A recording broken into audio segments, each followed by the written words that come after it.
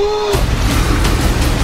Hey, what's up everyone? Welcome back to season two of Spitting Venom, aka the Venom Vlog. This episode 151, kicking off the second season, and we're gonna ride this season all the way until the movie comes out and hopefully hit 300, uh, episode 300 by then. Uh, but I don't know, we'll see. I'm gonna try to pump out a lot of stuff for you guys. Uh, we're gonna stick to five episodes a week though from now on, and I appreciate you guys giving me a few days off to like work on stuff, get new intros done and all that, get kind of like my life back on schedule, get some writing done. It really means a lot to me. So now that we're back, we're gonna go full force. And even though I'm on my way to the comic store right now, because I'm a little bit behind on new comics, Venomized number five came out, so I'm gonna go pick that up. Uh, but even though that's, you know, what I'm going to get today, that's not what this video is the intro for. We're actually gonna talk about something movie related. I saw something in the trailer that was interesting to me, and it caused some like chatter online about how maybe the suit, the Venom suit, actually works in the film. Uh, because we saw the suit like, you know, his arm turn into a tentacle and whip out, and then like his back, like a, a tentacle shot out of his back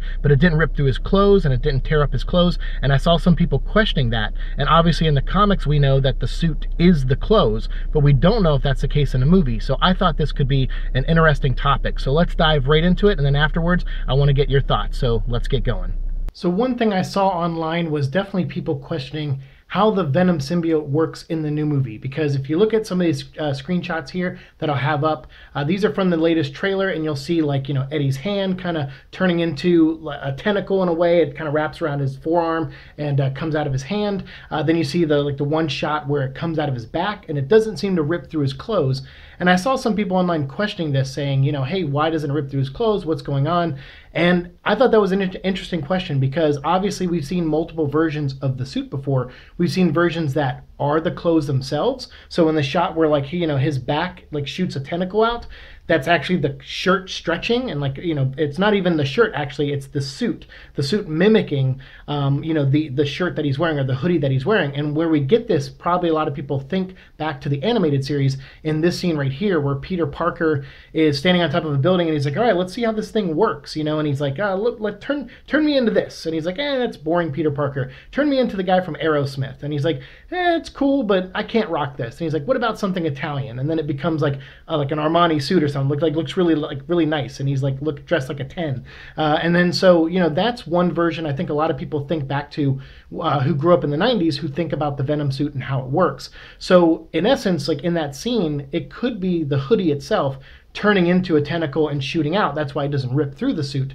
Uh, but I think the reason a lot of people question it is because right before that happens, we get that close up shot of his eyes going black, uh, which does happen in the comics sometimes too and it looks like a virus, some kind of virus that he's infected with, and not just the suit latching onto him, but maybe something that's, you know, coughed on him or spit up on him or something like that from that woman in the hallway. We're assuming that's where he gets infected, of course, based on how the trailer's cut. Um, so I think that's why a lot of people are confused. Is this like an internal uh, thing that comes out of them, um, or is it something that you know can mimic clothes and stuff? And so obviously we don't have the answer to that yet. Uh, it would make sense in that scene and would definitely help out, you know, costuming department and special effects teams or visual effects teams uh, as well to not have to worry about showing torn up clothes uh, if the suit was just mimicking a hoodie.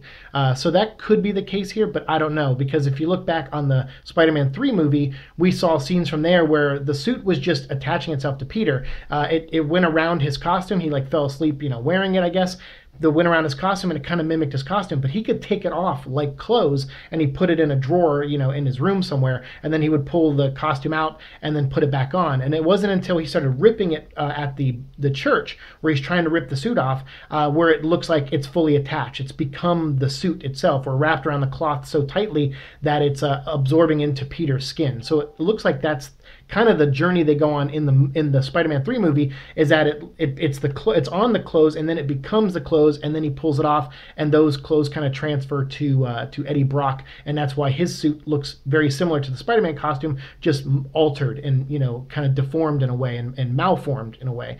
Uh, so a lot of us are speculating, well, how, how will the suit work? Because we've seen it in cartoons, we've seen it in comics, we've seen it work in different ways. Uh, in this scene from the original animated series as well, you uh, from the 90s, you see the suit uh, as Eddie Brock's working out. It kind of like re- comes out from him and wraps around him. He's wearing no top actually, so the suit just comes around. So you know, it's it's it's internal and external is the only thing I can explain uh, is that it can be inside of them and it can be outside of them and and it's only because in the comics and in the animated show and in other things we've seen it be both. So in this scene with him with the hoodie scene where the things coming out of his back the tentacles coming out of his back um, it could be the suit mimicking it or it could not be and it could be coming out of him and maybe it didn't rip a hole in the the clothes because it's absorbing the clothes, you know, like we've seen in Spider-Man 3. Like, who knows?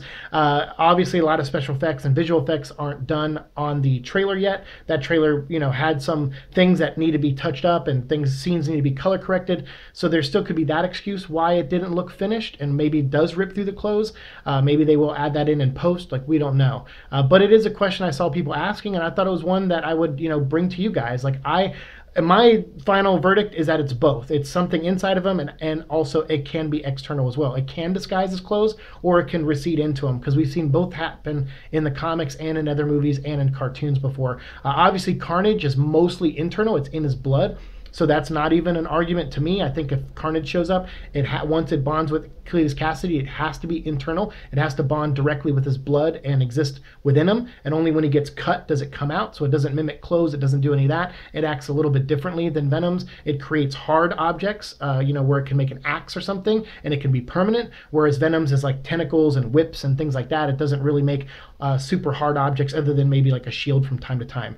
Uh, so those to me are the differences, the fundamental differences uh, visually and power set wise between Carnage and Venom suit. So you guys let me know. Do you think it should just be one? Should it just be internal? Should it be external? Can it be both? I would love to hear what you guys think of this. And uh, yeah, and thank you for coming back for season two. Uh, hopefully, you know, I just wanted to start the season off with something, you know, a little different, a little bit more conversational, uh, and have something that was visual about the new movie and something in the trailer that I found interesting. I saw a lot of people questioning this, and I thought it was a good thing to make a topic on because there is no single answer answer. It's actually, to me, it could be both. And it'll be interesting to see what version or how they portray it fully in the final product of this movie. So let me know what you guys think down below. How do you like your symbiotes to work? Do you like it to mimic clothes? Do you like it if it's inside and comes out only when it's agitated? Let me know your thoughts down below. Thank you so much for watching my show. As always, like, share, subscribe, all that fun stuff, and I'll see you in the future. Peace.